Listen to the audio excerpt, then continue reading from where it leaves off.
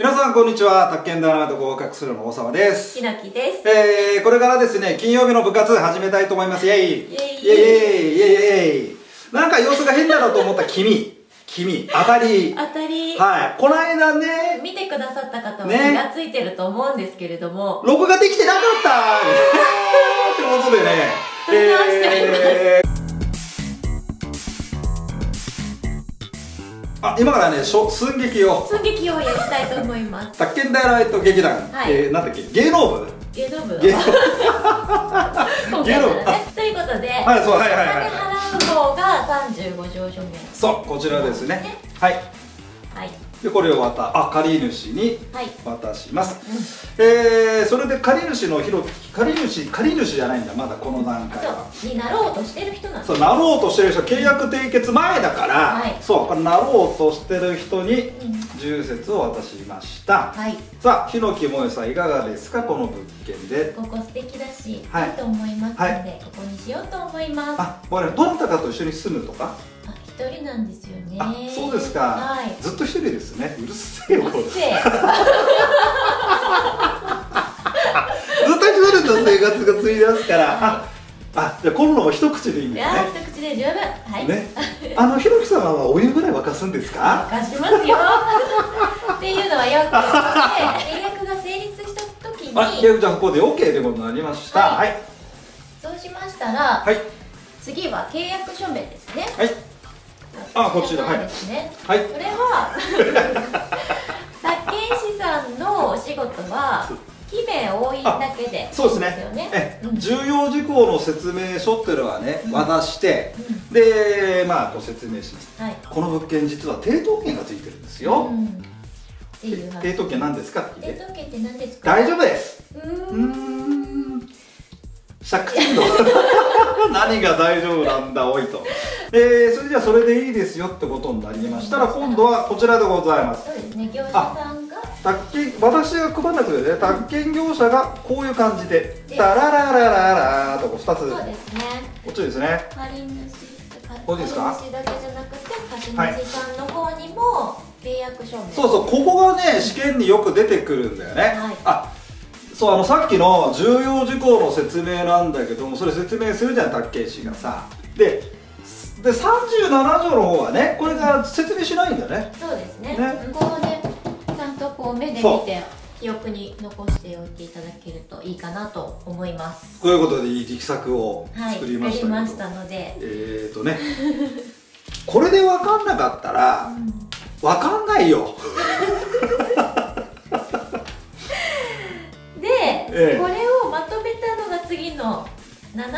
7ペあージの7ページの表にはいしたものなんですね。カンニングノートですはい、かカンニングノートの7ページ。はい。でテキストは、はい、テキストは？実は比較の表みたいなのがなくって、ー。それぞれに書いてあるのでえー、不親切 ここでちょっとすいません。不親切すいません。という感じで作ったので、はい。まずここの穴埋めのところをちょっと時間とってうんやってみるもらいましょう。はいはいわかりました。このカンニングノート便利だな。便利でしょ、うん。うんすごいね。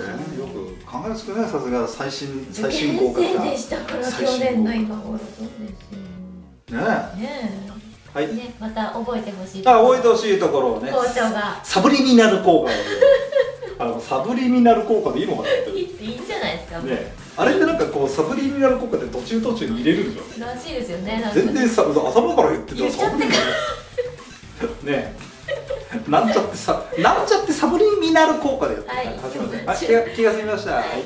そうねこのね456し支払い時期引き渡し時期。これはね35条に書いたん書けばよいとかさでそういう引っ掛け多いね。多いですまあ、そうじゃなくて37条に必ず書かなきゃいけないよってことでね、はいえー時期時期時期は37条37条なんか振り付けあったっけなんか作りましたこんなんなってました時期時期時期は37条ってこと12当該宅地建物が種類品質に関して契約の内容に適合しない場合におけるその不適合を担保すべき責任または当該責任の履行に関して講ずべき保証保険契約の締結その他の措置についての定めがあるときはその内容。よく喋れますね。ペラペラペラペラ綺麗さすがさすがね昔取った何度もですね、昔取ったなんちゃらですね、ね。よくこんな、まああの10 12番不適合だけ覚えてみて、はい不適合って書いてあったら丸だぐらいの感じ。はい、えっ、と1番が何が違うんですか？これは特定のものにのみ使用を許す旨の規約、まあ、敷地の一部建物。まあまあ駐車場、うん。駐車場とかって覚えてました、うん。内容は説明するけども氏名と住所住所な302号室のひろきさんです。この車。え304号室の大沢さんですこの車305号室のね橋本さんです。えー、それから606号室が何々さんで707号室が何々さんさあそしたら次は808だやるんかそんなこと。めんどくせえなみたいなもう100番は909は何なんだみたいなね。909は908号室までしかないんだ残念だなお前。ってやるんかお前っていうね住所とかまでね。さあさあ。いや次は1001からいけよなんてやるんかいね。やると思う？やらないでよ。さあ1001なんですがこれは実はなんとヒロキのパパなんだみたいなね。ボロい車だよとか言っちゃって。うるせえよ。うるせえよ。スバル360今買うと高いんだこれは。なんてやるんか俺は。はい。はい気が済みました。2番今何が罰規約の設定を待ってあかずーっと待ってなきゃダメだわ重説するのに ちょっと待って重説規約なんかできるのが2ヶ月後でこのままフィックス。動いちゃダメ。やる規約の案が規約になる。のを今私が待っております。ストップですよ。いいですね。はい。はいっつって。あんな規約推理しましたか。みたいな。やるんかお前やんないですね。どうする？面白いですけどね。ストップ！待ってますとか今待っています。今ね総会が開かれておりましてあと5分で可決でございます。やるんか新しいな3番は。額ですね。額の方が大事なんじゃないですか。っていう話ですよね。積み立てを行う上での逆にます総額は秘密買ってから勝負勝負ってなっちゃってね。うん。であんま気にしない。んだこれ結構ここでハマっちゃう人いるかもそうですね。なんか案の規約を待ってからじゃなきゃダメかなとかっても思う人もいるかもしれないですね。分かんないから。あと5分待ってくださいね。今ホーム規約が今規約。総会の議事ででね可決。よし。説明だ。可決されました。案が成立しました。よし。説明します。ペット禁止。ペット禁止買っちゃダメ。ピアノは OK 民泊はダメ。今決まりましたか？ってなるかっていうそういうことでしょ？あいや文章で見るとそういうふうに思わないから。待ってよ待ってよ。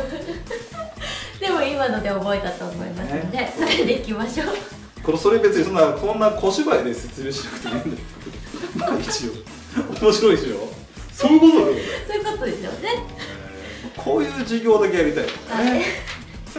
えー、借金以外の金銭の授受の方法。ら方法。方法はいらないんですよね。電書バトが飛んできますんで。ハートが飛んできますんで。ハートをパッと使まして金銭の授受の、えー方法はですね電書バトで皆さんのもとにポッポ1号が飛んできました。ポッポポッポ。借金以外の金銭の授受の何？敷金は？敷金。資金。敷金はドローンです。敷金。敷金。敷金が来たぞ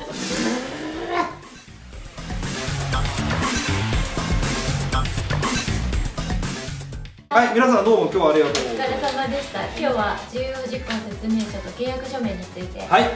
できるだけわかりやすくはい。説明し,、たつもりでですけれど、もはい。すっげえ面白かったけど内容忘れちゃったっていう君。もう一回見て。う一回見て。はいじゃあどうもありがとうございます、はいお疲れ様でした